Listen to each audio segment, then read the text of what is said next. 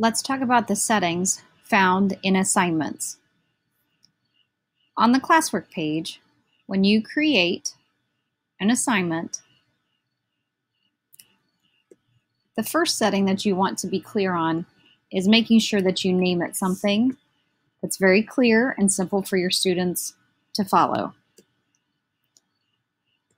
Maybe this is a tech project.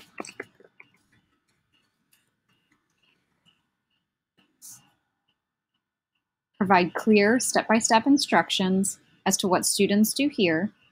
Bullet points work very well, or numbering steps.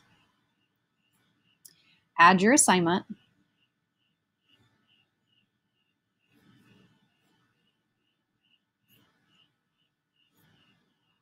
And here's the first major setting that you want to be aware of. This only works in assignments. Notice the shark tooth. You have three options when you add a file from your drive. Students can simply view this file.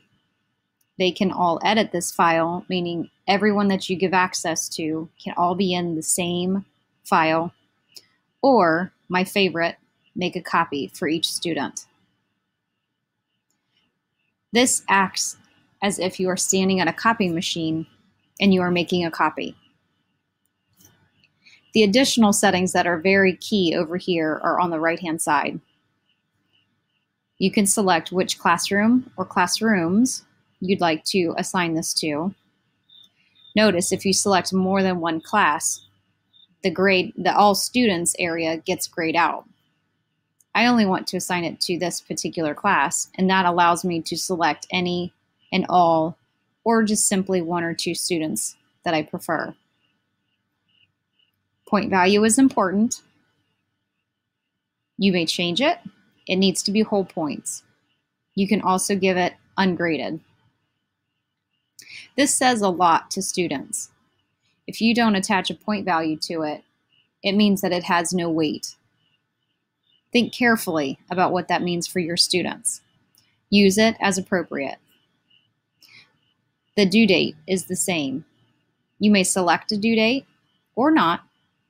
But again, if it's never due, what does that say to your students? Use due dates to again give this particular assignment some weight. Assign it to a topic so that you know what it's there for, as do the students. The final small area is often overlooked. Often teachers want to just go ahead and assign this. But think carefully about this. Maybe your students don't need it right now. Click on the shark tooth.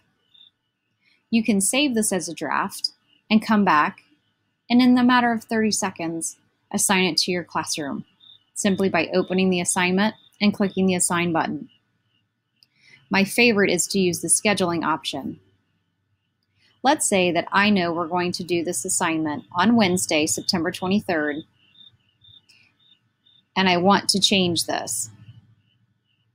Maybe I want it to drop at 8 a.m. Or maybe my class is in the afternoon. Right here, it's tell telling me that I must give it a due date. My due date changed to tomorrow. So cancel out of this, change the due date.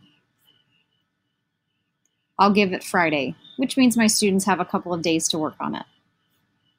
Now when I go into scheduling, I can change and schedule it for September 21st at 8 a.m. or adjust it as I need. Back on the classwork page, notice that it's gray down here and it's telling me that it's scheduled. That's awesome. Your students will only see the assignments that they need to have right now. Check out those settings and use them.